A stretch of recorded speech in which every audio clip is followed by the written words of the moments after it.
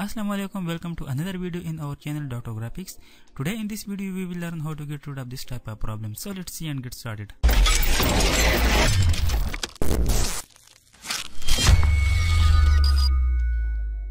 Alright, uh, let's open the Corel. You can see that this uh, is uh, giving me some uh, issues and problems that my Corel cannot be opened.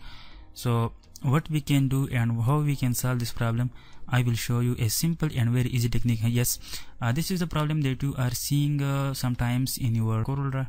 Even you have registered your Corel or you have installed the crack file uh, what you have to do is just go and press control shift escape from your keyboard. Now come here and select here the task of Corel. I am going to select Corel. Yes this is the Corel process and now I'm going to end this process okay?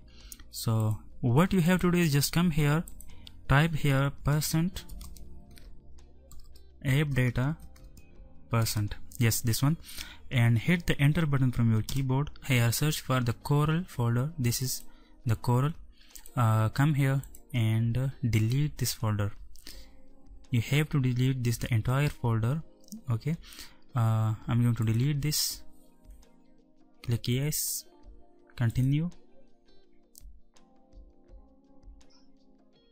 And you are done okay? So let's see what happened to the Corel now. I'm going to open it again once again. It's processing